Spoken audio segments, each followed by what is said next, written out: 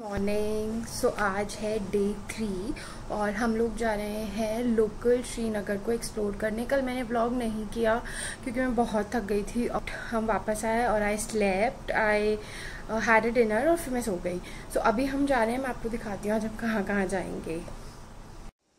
और यहाँ मैं अपना आउटफिट आप सबको फ्लॉन्ट करते हुए होप यू लाइक इट और यहाँ मैं और अंबर। मेरे सेल्फी लेते हुए। Ambar is so excited to go out actually every day बहुत ही खुश होता था। So so, so we are at Pari Mahal और ये बहुत सुंदर है। यहाँ पे बहुत अच्छी ग्रीनरी है, बहुत सारे डिफरेंट फ्लावर्स लगे हैं। यहाँ से श्रीनगर का बहुत अच्छा व्यू दिखता है। और आज सनी है तो ज़्यादा हम इधर उधर नहीं चढ़ रहे हैं बहुत धूप है, बहुत तेज़ बट व्यू बहुत अच्छा है। यहाँ पे आना वर्थ इट है। So I show you the view so so, ये है परी महल। ये श्रीनगर में one of the tourist point था जहाँ हम सबसे पहले गए। सो so, इस महल से पूरा श्रीनगर बहुत ही ब्यूटीफुल दिखता है। पूरा श्रीनगर दिखता है बिकॉज़ ये महल बहुत हाइट पे है और डल लेक दिखती है पूरी। बहुत ही सुंदर है। एंड यहाँ पर बहुत सारे लोग आते हैं जो लोकल्स आते हैं वो एज अ पिकनिक स्पॉट आते हैं यहाँ पर। बहुत ज़्यादा क्राउड uh, था लोग घूमने आए हुए थे। और यहाँ पे अंबर सो गया। और यू नो यहाँ पे जो गार्डन इन्होंने मेंटेन कर रखा था वो बहुत ब्यूटीफुल था। ट्रस्ट मी गाइस इतने सारे डिफरेंट फ्लावर मैंने एक साथ कभी नहीं देखे। सो so, अब इतनी सारी सीढ़ियाँ चढ़ के हम जा रहे हैं चश्मे शाही जो कि है हमारा सेकेंड पॉइंट यहाँ पर कहते हैं कि चश्मे शाही से एक स्प्रिंग वाटर निकलता है जो कि ज़रूर टेस्ट करना चाहिए और वो बहुत इनके लिए वो एक होली वाटर है। सो हम लोग यहाँ पर गए और हमने वो टेस्ट किया और यहाँ भी पूरा पार्क इन्होंने बहुत ही ब्यूटीफुली मेंटेन कर रखा था।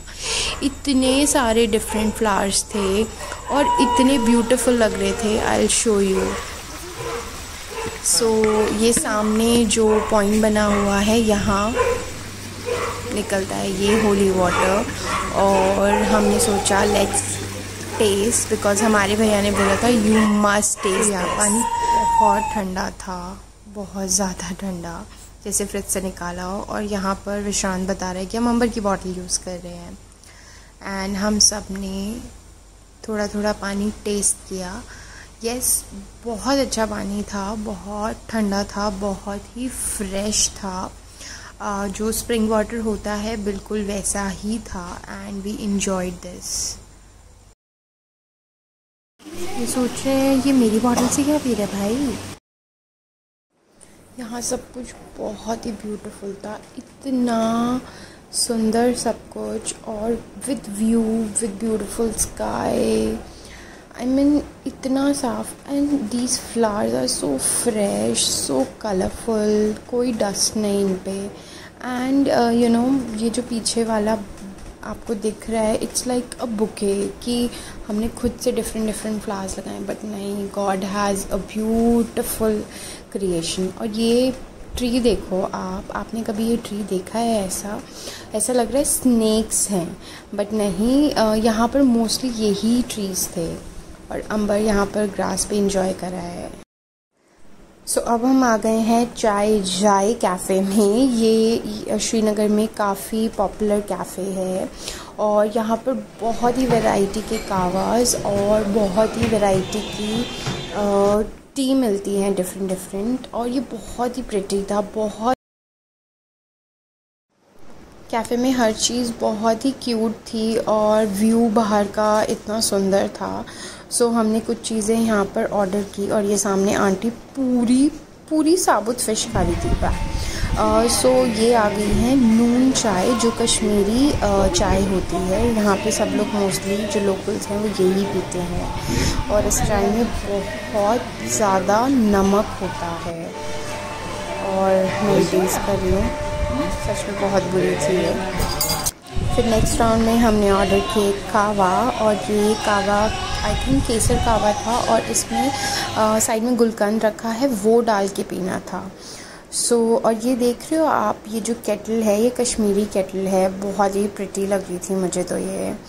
और फिर भैया ने हमें ला के दी है ब्रेड ये है एक कश्मीरी ब्रेड ये लोग सब इसे नाश्ते में खाते हैं मॉर्निंग में। आ, ये ना तो मीठी थी ना नमकीन थी ठीक थी। ये है कावा। केसर कावा। ये है नून चाय जिसमें बहुत नमक था।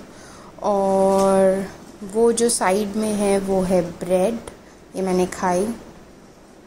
बस ठीक थी। और यहाँ पर बहुत सारी चाय लगी हुई थी बहुत वैरायटी एंड अगेन हम अपने फेवरेट प्लेस पे डल लेक अपनी शिकारा में। और हमारे शिकारा वाले भैया का नाम था उमर और ये लड़का एक्साइटेड और यहाँ पे शुरू होता है कश्मीरी कली बनने का प्रोसेस जो कि बहुत मुश्किल था। सो so, यहाँ पे मैं दूसरे शिकारा में गई वहाँ पे भैया ने मुझे कश्मीरी आउटफिट पहनाया ज्वेलरी पहनाई और काफ़ी गर्मी थी। ये पूरा वेलवेट का था और ज्वेलरी वो सो सो हैवी बट मैंने कहा ठीक है कश्मीर आए हैं। एक बार तो ये ले ही लेते हैं। पिक्चर्स हमेशा याद रहेंगी। और सिर्फ़ मैंने ही ये जज्बा उठाया जाके अपनी पिक्चर खिंचाने का। बाकी कोई नहीं गया मेरे साथ। सो so, और हाँ मैं आपको बता दूँ मैं कश्मीरी कली नहीं कश्मीरी एक मोटा ताज़ा सेब लग रही थी। तो मेरी पिक्चर कैसे आई? आप इंस्टाग्राम पे देख सकते हैं। मैं वापस आ गई हूँ अपने शिकारा में और अब मैं आपको दिखाती हूँ। ये है फ्लोटेक बैंकेट हॉल यहाँ की लोकल शादी यहीं करते हैं। सो so, हम अपना व्यू इंजॉय करते हुए वेदर बहुत अच्छा था। आप देख ही सकते हो कि सब कुछ कितना ब्यूटीफुल लग रहा है।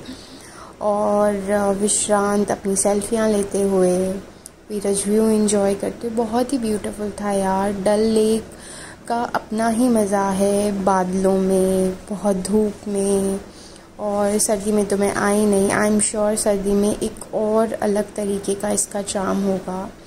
We were enjoyed so so much और ये हमारा hero so now we are at Charminar ये लेक के बीच में एक स्पॉट बना हुआ है। यहाँ पे कुछ वाटर एक्टिविटीज़ होती हैं और बहुत सुंदर बना हुआ है यहाँ पे।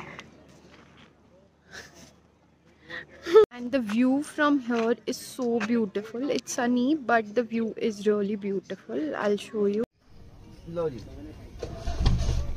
Now we are just doing all the best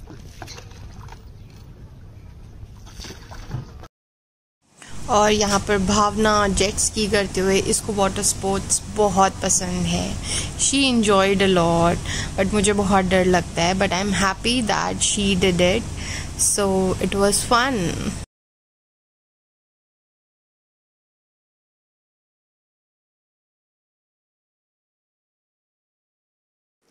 इस जगह का नाम चार चिनार इसलिए था क्योंकि यहाँ चार चिनार के पेड़ लगे हैं और चिनार के पेड़ सिर्फ़ कश्मीर में ही मिलते हैं। कुछ ट्रीज़ यहाँ काफ़ी पुराने थे, काफ़ी ज़्यादा।